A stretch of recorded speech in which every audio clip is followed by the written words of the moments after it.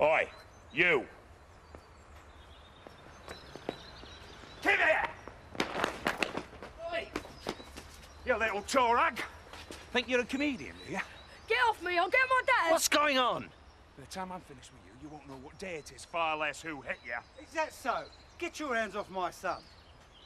He needs teaching a lesson. Not by the likes of you. Now get your hands off my son, or I'll flatten you. Oh, aye.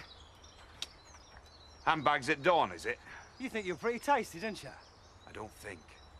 Oh! I know. What the hell's going on? Still think you can flatten me?